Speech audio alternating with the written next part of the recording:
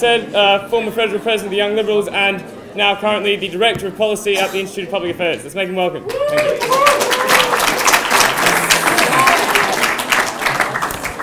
Uh, thank you very much, and thanks for organising this debate, and to all of you for coming out today. I think it's very exciting. Um, capitalism is better than socialism.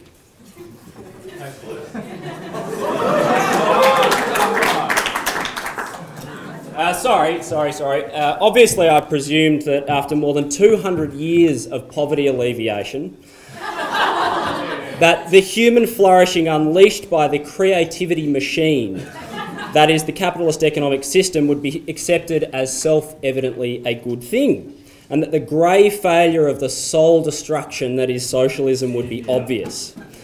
Uh, but of course, we're on a university campus and we're not out in the real world, so let's go back to basics. And let me tell you a story that most of your university professors will never tell you. Put simply, capitalism is a system of economic organisation based on private ownership of the means of production, distribution, and exchange. Capitalism is free market economics. And by free market economics, I don't mean crony capitalism. Uh, I don't mean bailouts for the banks. I don't mean an economic system that includes agencies of the state like the IMF and the World Bank. It's not even the status quo. Uh, and I want to make that clear from the start because I don't expect that our opponents will play this game fairly. I don't think that they'll engage constructively in this debate. What I expect is a list of terrible things currently happening in the world and for them to say that it's all capitalism's fault. What I expect to see is the, the blame game in full flight. But it's important to understand that many of these problems, and there are problems, are caused by socialism and caused by an overbearing state. And they can and will be solved by the unceasing force for good that is capitalism. More, more, more on. Oh, it's good to be back at university. More on that. More on that soon. Free market capitalism, as I've said, is an economic system that is free from the restraints of a coercive state. It's a system in which individuals operate freely in pursuit of their own self interest. The free market is an aggregation of thousands of mutually beneficial voluntary exchanges between consenting adults free from any form of aggression. Socialism is pretty much the opposite of that. It's an economic system which advocates state control over the means of production, distribution, and exchange. I think socialism fails because it suppresses the most basic of human instincts self interest. Capital, capitalism takes human beings as they are and harnesses self interest into a system that produces good outcomes for everyone. Let me explain just a few examples. The National Review recently surveyed global poverty and found capitalism has lifted more than a billion people out of poverty. The proportion of people in developing countries living on less than $1.25 per day has been cut in half.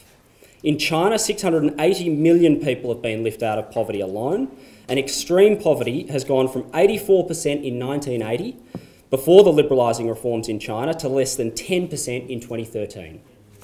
In Africa, per capita real incomes rose by 97% between just 1990 and 2010. Hunger in India shrank by 90% after the country replaced 40 years' worth of socialist government with capitalist reforms in just 1991. Stephen Moore at the free market think tank Cato in the United States put together a table of the 25 best trends of the 20th century. Some of those include life expectancy in years over the 20th century has gone from 47 to 77. Infant mortality has gone from 100 to just 7. Deaths from infectious disease per 100,000 has gone from 700 to 50. Heart disease has gone from 307 to 126 across 100,000. Manufacturing wages have gone from just $3.40 to $12.50. Poverty rate has been reduced from 40% to 13%. Agricultural workers, as a proportion of the economy, have gone from 35% of the economy to just 2.5% of the economy. Television ownership. No one owned a TV at the beginning of the 20th century, now 98%. 98, that's just, that's just since the 1960s. Just 98% of US households now own them. Home ownership has gone from 46% to 66%. Electrification has gone from 8% to 99%. People can warm themselves and read by lights at night. Telephone calls, 40 were made back at the beginning of the 20th century, and 2,300 are able to be made now. Accidental deaths. Accidental deaths per 100,000 has dropped from 88 to 34. Black incomes have gone on a per capita basis in 1997 dollars from just $1,200 to $12,400.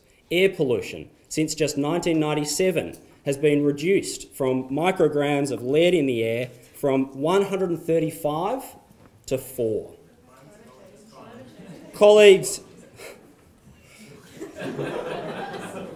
colleagues, colleagues of mine, Mikayla Novak and Dom Talimanidis, found in 2014 very similar results here in Australia. Since the 1950s, average tonnage amount of wheat harvested per hectare has consistently broken the one tonne per hectare mark. Yields are now more consistently reaching two tonnage per hectare in spite of the drought and other adverse weather conditions. Uh, they did this, this uh, incredible study which looked at the cost of appliances in people's homes. In the 1990s, uh, just 33% of people owned an air conditioner. In the 2010s, that was up to 73%. Dishwashers went from 25% to 52%. Fridges went from the 1960s 94% to 100% in the 1990s, 100% to the 2000s, 100% in the 2010s. To understand, and, and, that the lowest, this is the most important thing, that the lowest quintile of income earners, their average real earnings increased $7,600 just since the year 2000. Let's turn now to socialism. To understand the epic failure of socialism, one need look only no further than Venezuela, where a friend of mine, where a friend of mine, Carlos, lives with his family. Well, you might laugh, uh, and it's easy to laugh about it here in Melbourne, but if you're living a life under the heavy hand of the government in Venezuela, it's no laughing matter. Government spending has fueled rampant inflation, where the average over the last few years has been 22% during Hugo Chavez's tenure. Uh, his anti capitalist rhetoric and broad state intervention into the economy have led to a death of investment. Gross fixed capital formation declined 18% of the gross product in 2011 from 24% in 1999, according to the World Bank. Net inflows of foreign direct investment stood at just 2.9% of GDP, Capital flight from Venezuela intensified as Mr Chavez pursued more interventionist policies, including capital controls and fixed official exchange rate. Rather than pursue policies that might stimulate investment, the government's response to shrinking productive capacity and high inflation has been price caps. The result has been shortages of food and other basic necessities to the point where Venezuela ran out of toilet paper uh, to the point where condoms cost as much in Venezuela as an iPhone in the United States. Venezuela's oil production has fallen to around 2.5 million barrels a day from about 3.2 million, according to most industry estimates. Energy rich Venezuela has been importing more fuel. Still, prices for the country's crude have risen about tenfold, so Mr Chavez has been quite lucky that's helped the economy grow, albeit at a lacklustre annual rate of 3% since 1999. GDP capita rose to an estimated $11,000 last year. And, and, and this isn't just an economic problem. The national homicide rate of 73 per 100,000 is more than double 31 per 100,000 in Colombia, which is fighting two guerrilla insurgencies. As Charles Murray explained recently in the Wall Street Journal, from the dawn of history until the 18th century, every society in the world was impoverished, with only the thinnest film of wealth on top. Then came capitalism and industrial revolution. Everywhere that capitalism subsequently took hold, national wealth began to increase and poverty began to fall. Everywhere that capitalism didn't take hold, people remained impoverished. Everywhere that capitalism has been rejected since then, poverty has increased. So, why does capitalism yield such positive outcomes? No doubt our opponents might make something of the existence of inequality, but we shouldn't be afraid of inequality. Differences in the value of labour, for instance, encourage us to enter more productive areas of the economy, which leads to the provision of more goods and services and better quality goods and services at a lower cost to everyone else around us. These differences are necessary to a well functioning economy. What's important is whether over time the poor get richer or whether they get poorer, whether they're able to meet their needs and the needs of their family or not. And as I've shown, the story of the past 200 years, the story of capitalism, is the story of how capitalism has saved and continues to save the poor. and why does socialism fail? Ludwig von Mises arguably the greatest economist of all time, identified the key problem faced by those advocating for a centrally planned economy incomplete information. Without correct and complete information, central planners are incapable of making rational and economic decisions. He called this the economic calculation problem. At the heart of his thesis is the idea that prices, determined by supply and demand, contain information relevant to the decision about savings, production, and consumption. Without the otherwise unquantifiable complexity of information contained in a price, socialism is doomed to hopeless, hopeless failure.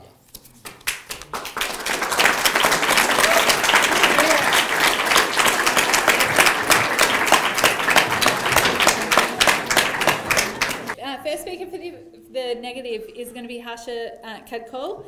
Harsha is a science student here at Melbourne Uni. She's the president of the Students for Palestine Club uh, on campus and she's an active member of the Socialist Alternative Club. So please make her welcome.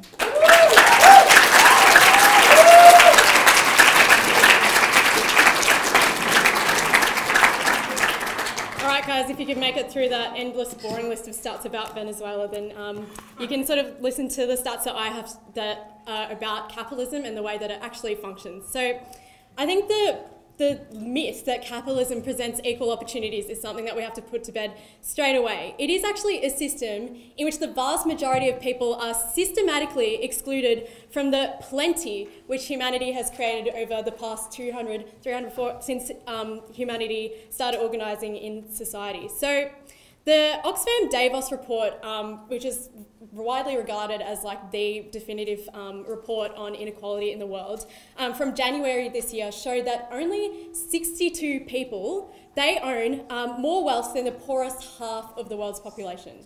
So that's 3.5 billion people, more or less, um, half of the world's population. And this is this rampant inequality has actually increased since just last year. So last year, it was 85 people that owned that same, um, that were the balance to those 3.5 billion people. And the same report gives various shades to the same fact um, that inequality is actually ever increasing despite what the um, previous speaker said. Um, so, looking at this from the other end of the scale, so since 2010, there's a lot of feedback that's really weird. Um, since 2010, um, the wealth of the poorest half that I talked about has actually decreased by over $1 trillion. That's 38% decrease just since 20, um, 2010. Um, even though the population of the world has actually increased in that time by 400 million. This is absurd. Um, and we actually now know about the trillions of dollars um, that are stored in offshore tax havens um, that were revealed in the Panama Papers, which actually would skew um, this report even further um, out of proportion um, with, his, with, with what is actually considered just in society. So Capitalism is actually the most unequal type of society that's ever existed. All the talk about alleviating um, poverty and all of that is absolute garbage. Um, the wealth divide in just America alone today is greater than ancient Roman society. So get this, a society in which people actually owned other people in order to get the work of society done, that was less unequal than America today. And I think that's shocking.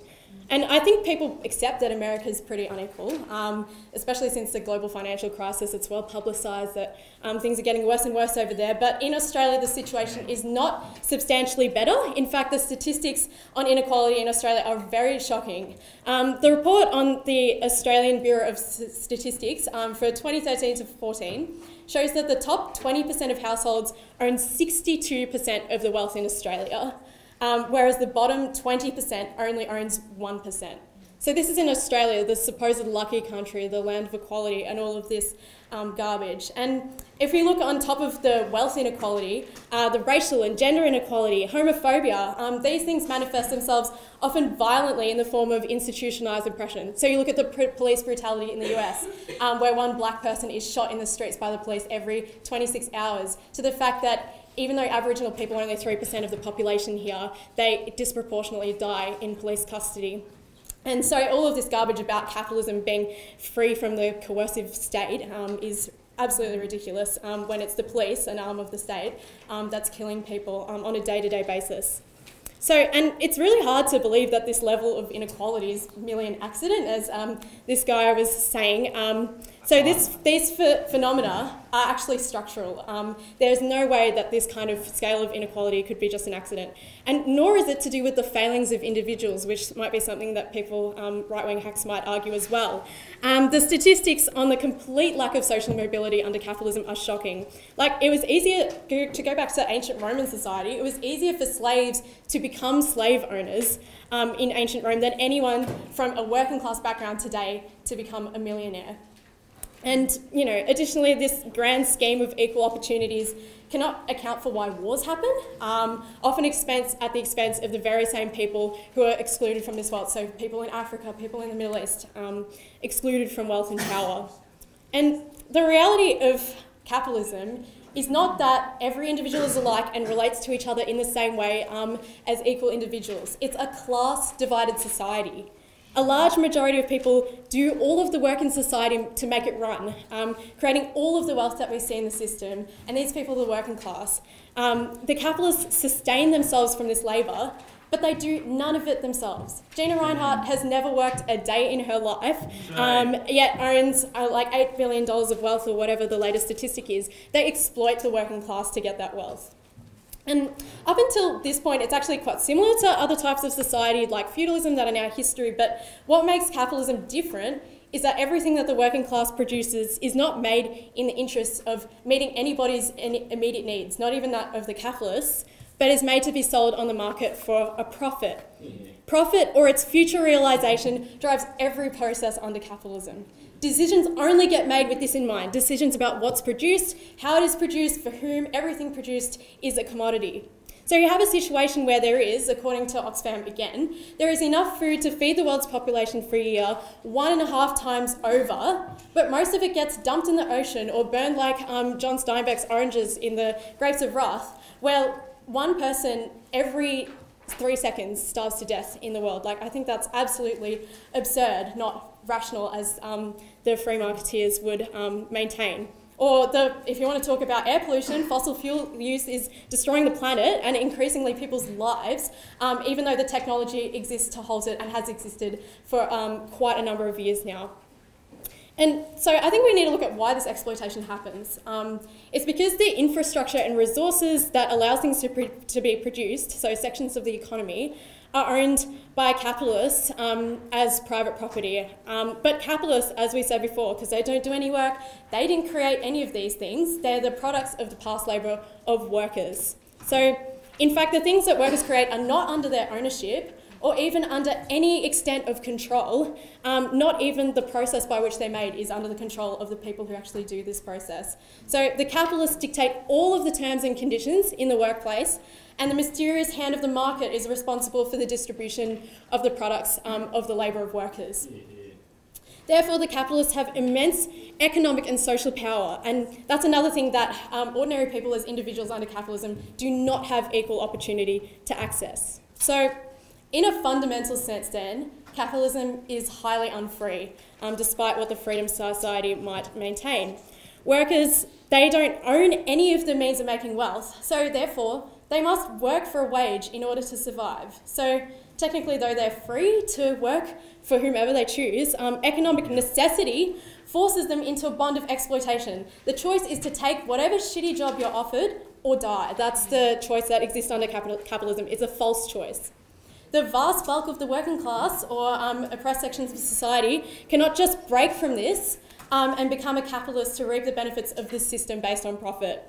Even though they do all of the work in the workplace, produce everything, they have, as individuals, no control over any part of the process of productions, nor where the products of their labour go. I think it's really weird how you keep clapping when I say things like free or individual. It's really odd. Um, capitalism is a system in which the 99% of people are able to pursue lives unrestrained by the dictates of the market, a market that often plunges millions and millions of people into unemployment and deprivation. There isn't even free movement of people around the globe, like refugees come across borders, um, barbed wire, um, and guns often when they try to do so. Only commodities have the ability to go wherever they want, as long as they're making someone a profit at the end of their journey. If we want to talk about the creative machine, um, the creative potential of humanity is absolutely enslaved to the market. Innovation only happens yeah. as long as it allows a capitalist to compete, compete better with their rivals. Um, and most people don't get to exercise any creativity um, and freedom of expression at all, not even in the parts of their lives deemed most intimate, like their sexuality. So, clearly, from an understanding of how capitalism works and its true nature, the case for an alternative is quite obvious to normal people. So, let's define what that alternative is. Firstly, socialism has never before existed in human history. We live in a global capitalist system. Stalinist Russia was not socialist or communist or anything like that, um, nor is North Korea, not even Venezuela. Um, so, why is that? Because socialism is not just about a planned economy as opposed to the free market, um, and nor is it about state owned property as opposed to privately owned property. It's about the relationships between people that come from their relation to the economy. And in those countries, it's the case that the setup is almost exactly the same as capital, capitalism everywhere else. A majority works to produce everything in society, and a tiny layer of people expropriate what's created. A socialist society is one in which the vast abundance of which humanity has created is put to use, meeting the needs of all people, instead of being shored in offshore tax havens like um, shown by the Panama Papers, in which people aren't just bare minimum surviving or not surviving at all, which is the case under capitalism, but people are enjoying human achieve achievements. True freedom from economic slavery, of exploitation from racial, gender, and sexual inequality will be achieved. Freedom from bombs that rain down on parts of the world for years without end. So, how does this work? We get rid of the system in which only a tiny parasitic layer of people control production and therefore have the power to run society in their interests. And we have a system in which everyone contributes as they can and gets back what they need. The people who do the work have collective dem democratic control over production, which is the opposite of what exists in the workplace under capitalism. The opposition says that they're for freedom. If they actually were, they would have workers in control of what they do in their day to day lives. I think it's pretty obvious what people would choose and what millions around the globe actually increasingly are choosing. It's a choice between equal and a just society and the reality of the capitalist world we live in today, and I think the choice is pretty obvious.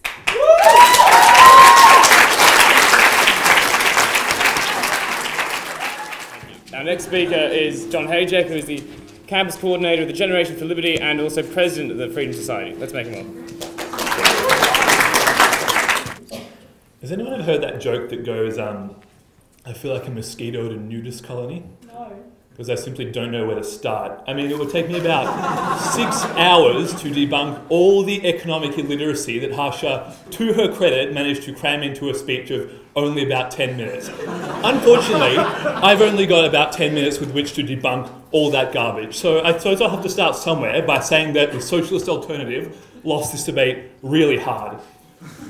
That was for many reasons. The first reason why they absolutely fell on their ass in this debate was that they totally dodged this debate. Notice how the topic was not that capitalism is good or that socialism is bad. It was that capitalism is better than socialism. Notice what Simon did was to say why capitalism is good and why socialism is bad and compare them directly. What this debate requires you to do as the negative team is not just to say that capitalism is responsible for lots of problems. You can prove that capitalism is the worst, like a terrible, terrible system, and still lose this debate. Although you did a pretty flimsy job of that too, I might add. what it also requires you to do is do more than mention this so called socialist alternative that you're proposing. You spent about one minute at the end of your speech, and it was all It was all platitudes. We know we need more than a, like a society based on fairness, where people can own the product of their labour and communal decisions are made and community controls the means of production. You need to give us mechanisms. How can the dismal planning boards that you set up once you've massacred the bourgeoisie and done away with all the obsolete relics of an exploded feudal system, how can they do economic planning effectively and produce the goods they need? That was totally absent from the first speaker's speech. That is terminal, and that's why you lost this debate. The second reason was that they gave a nonsense definition of what capitalism and socialism is. We gave a very clear one at Simon. The response they gave was that no, capitalism is a system of class divides and entrenched poverty with a few rich people at the top. You can argue if you want that that's a result of capitalism, but you'd be wrong. You may not argue that that is the definition itself of capitalism. It would be like us saying we define socialism as a system of human enslavement, grinding poverty and misery, gross resource allocation, decay, and death. That is what it is, but we're not entitled to argue that that's the definition. Also, Simon gave a perfectly clear definition of what capitalism is private ownership of the means of production and private ownership of property, free trade, low regulation of labour markets and business markets, minimal redistribution of wealth. What part of that said also you've got to support the war in Iraq? What part of that said you can't have to oppose refugees coming to Australia or that you've got to be homophobic or oppose same sex marriage? All the time you spent on that was totally wasted. Now, Getting to the core of this debate, Simon brought up in his speech the problem of economic calculation, and it goes to a very boring but very salient point that the greatest economist of all time, Ludwig von Mises, made about capitalism and socialism in this debate. In the absence of market prices that have to emerge in a free market as a result of millions of diffuse buyers and sellers making transactions and following their own private interests, market prices that that tell you the alternative uses of particular resources cannot exist. You cannot perform our economic calculation without prices and without the profits to tell you that you are allocating resources effectively and producing goods that are worth more than the sum of their parts. The fact that we literally got zero seconds of response at this point is very telling, and I think it's an embarrassment that a team that calls themselves a socialist alternative can stand up here, argue for a violent revolution, and not even tell us how we're going to decide what combinations of resources, of glass and steel, of leather and wood, we're going to use to make consumer goods. How are your dismal Politburos going to make this decision for us? You are doomed to be groping in the dark forever in this debate when under a socialist utopia because you do not have the signals that only capitalism can provide. So let's talk about inequality. Inequality, we think, uh, is not, well, firstly, we think inequality is extremely important. Let's pause for a second and not just be sanctimonious university students who want to crusade against inequality. How the hell do you do without inequality? Inequality is the one thing that means people put in effort to work hard and take risks in order to benefit themselves and increase their income. sorry, guys, that's true. And it's not just about putting more work in it, putting more hours in at the plant. It's about doing things like sinking billions or millions of your own dollars, hard-earned dollars, into that in order to produce goods that serve.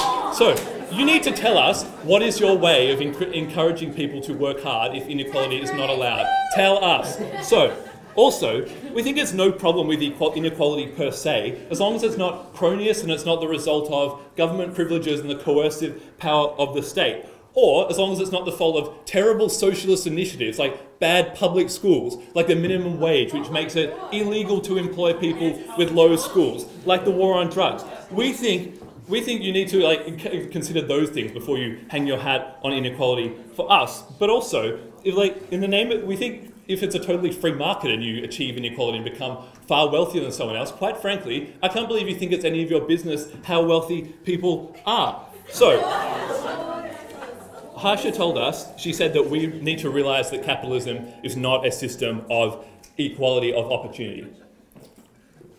We totally agree. We never said that it was. What we said it was is a system of quality of opportunity where it's allowed hundreds of millions of people in India and China to now access like the standard of living that there was no way they could access before when they were living under the, so, the yoke of socialism. Then Harsha brought out this bogus statistic about 64 people of the world's richest people are wealthier than the bottom 30%.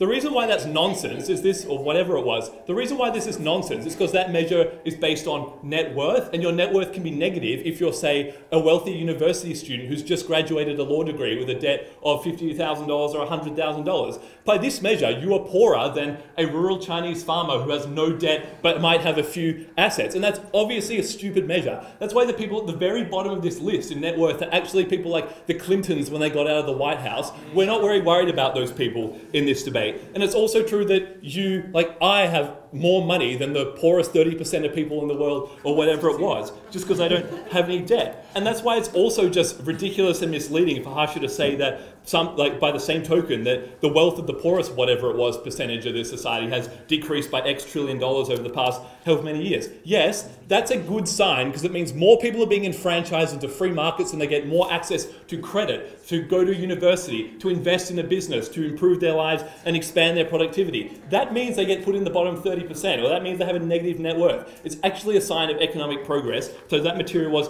irrelevant and you wasted your time on it in this debate.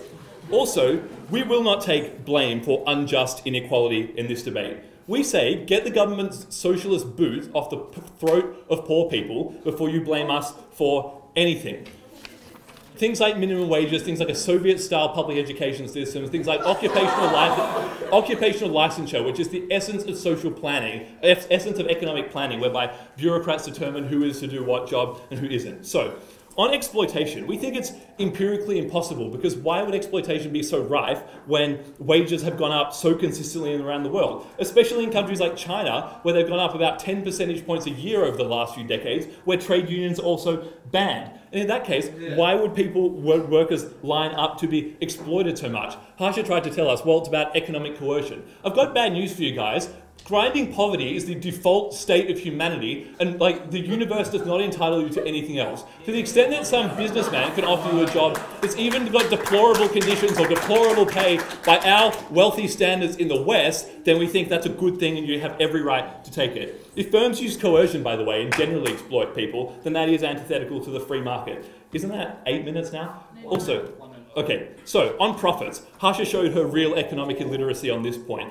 Let me explain what a profit is. Profit is the premium that capitalists get from forwarding, forwarding workers the end product of their production so they can survive while they go through the difficult process of accumulating capital and producing things for final sale. I hope you got that because you've got no excuse now for coming up with this drivel about how profits are derived from exploitation. Because although it is true that Gina Rinehart and Daniel Grollo don't physically lift the stones or mine the iron ore, they literally save their workers from starving to death by forwarding them their wages. And I think that should be rewarded. On climate change, on climate change, CO2 is actually not just a byproduct of capitalism. What it is is a byproduct of production using fossil fuels. So thank you for conceding that socialist utopias pr- produce far fewer goods and services for people of enjoyment. That might be why socialist basket cases do have lower carbon footprints than capitalist countries. But also, that's not even true because the so- in the Soviet Union, it took four times as many resources, natural resources, to produce the same car as it did in Japan at the time. That is bad for the environment and bad for people's standard of living. Lastly, we think capitalism is morally superior because it's the only system that doesn't rely on state backed violence and the only system that allows people to make their own mutual accommodations and exchanges with each other, free from your invigilation and your supervision. When you hear someone say, I hate the free market, they probably think they're being really clever and iconoclastic. What they're really saying is, I hate people's ability to make their own mutual accommodations without each other, without my invigilation, without my, without my coercive intercession. That is a sociopathic view. It's why you lost this debate, and that's why we're so proud to propose. Thanks.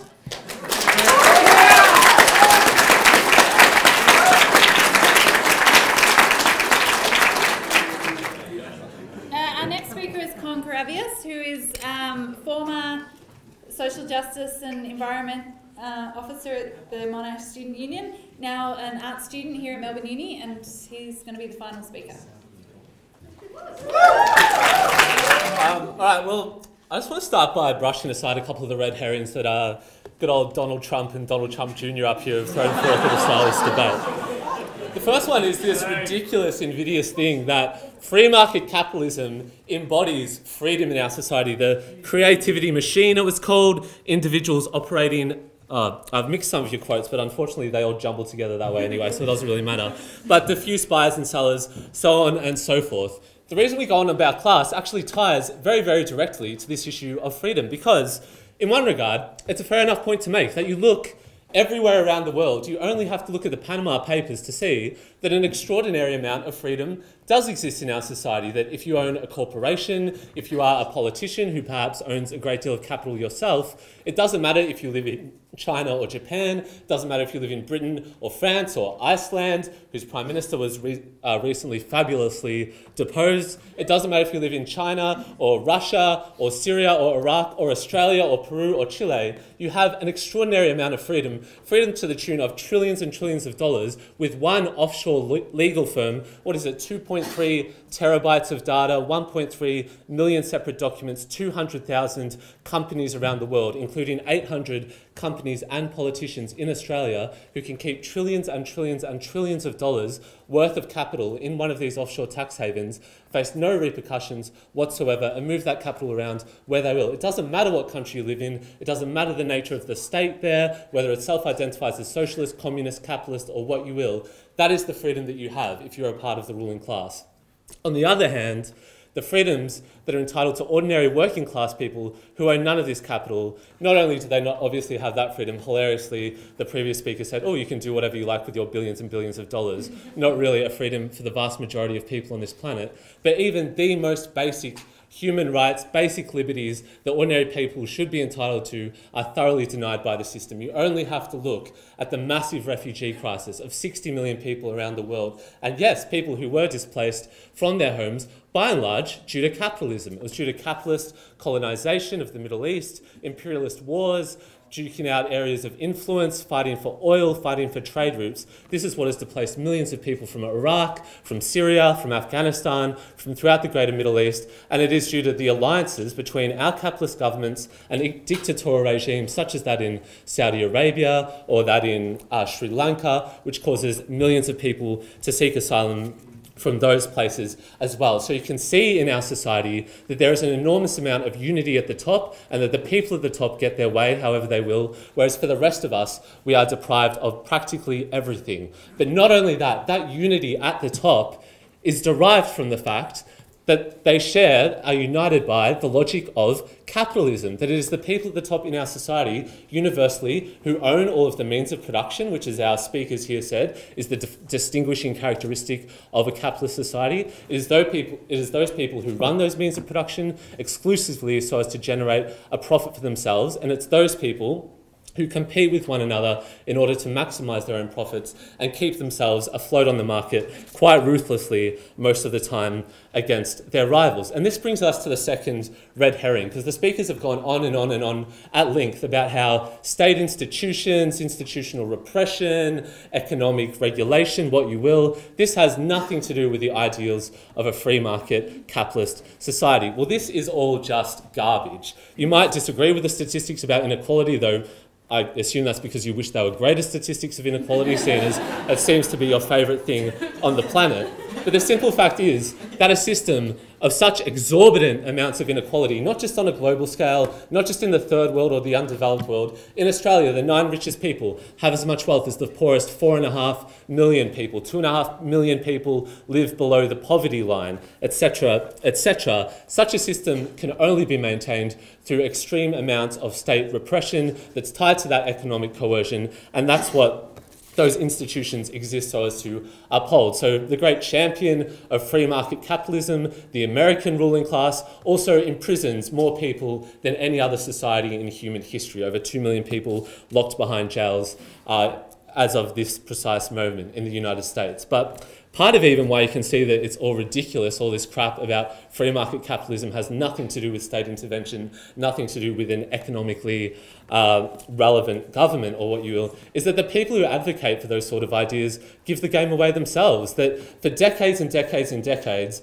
this has been the dominant economic orthodoxy in Western societies. Deregulate everything, slash social services, open everything up to the free market, and society will advance. Well, in 2007 and 2008, we saw what a load of bullshit that was, didn't we? Because when the economic crisis happened, when the banks went bust in the United States, and the consequences of that flowed through throughout the entirety of Europe and throughout most of the rest of the world, those same people, the people who for decades and decades and decades had told the state to get out of the economy, to stop investing in education, stop investing in social services, they turned around to every government in the United States, in Europe, and said, give us trillions of dollars to save our enterprises and to save our banks. And those states did that because at the end of the day, those states are intimately connected with the capitalist economy. And we've seen the consequences of that ever since have not just been more money flowing upwards into the pockets of the big banks and so forth, but that money actively extracted from the poor and the working class. Massive measures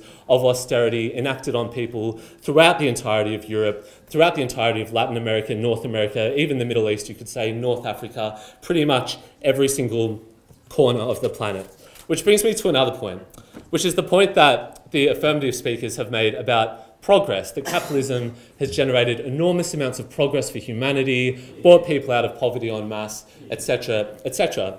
Now, in one sense, there is something to the dynamics of capitalism, which obviously have led to economic and industrial advances over the previous societies, such as feudalism, slave owning societies, where people mostly scrounged around in the dirt to um, give themselves a living. But if that's your argument, fair enough. You'll probably find the most articulate expression of it in the Communist Manifesto, funnily enough. So I recommend you read that one if you want to improve your own economic literacy. But the simple fact is that today we are very much living in a period of counter reform, that all the arguments around capitalism just organically leading to development that benefits the rest of humanity are self evidently obvious. That currently we have a government in Australia, some lion's capitalist country, which just last week the Prime Minister said, I want to federally defund all, pu- all public secondary schools while continuing to give money to the private schools. They want to strip away Medicare um, and public healthcare systems. They want to deregulate university fees again, strip public funding from the universities, and the list goes on and on and on. You only have to look at the extent to which, say, Indigenous people's living standards are being driven back who live in the Northern Territory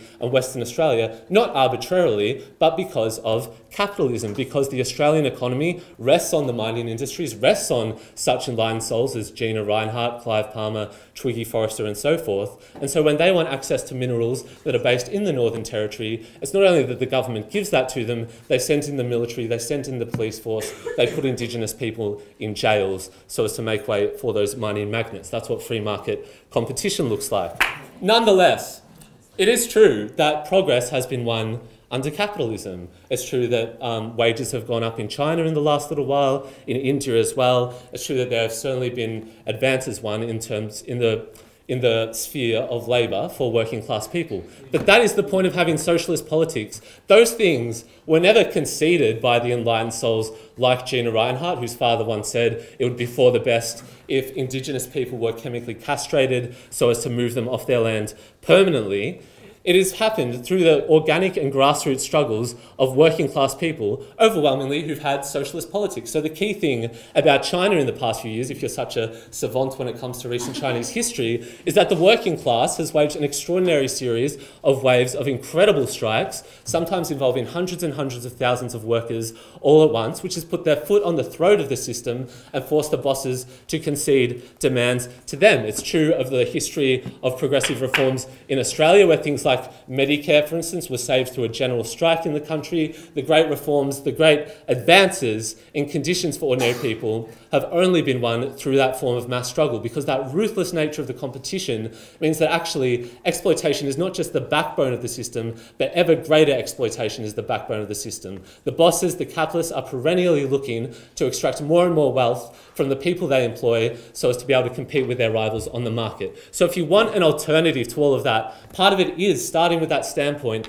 of the mass democratic collective struggles of working class people, which actually have already, under this barbaric system, driven their living conditions forward and offer potential to save what we've won in the past today. But an alternative system has to be built on not just that collective struggle winning concessions from the people at the top, not looking to some bureaucracy or some state. We think that's bullshit. We're the real anti statists in this room.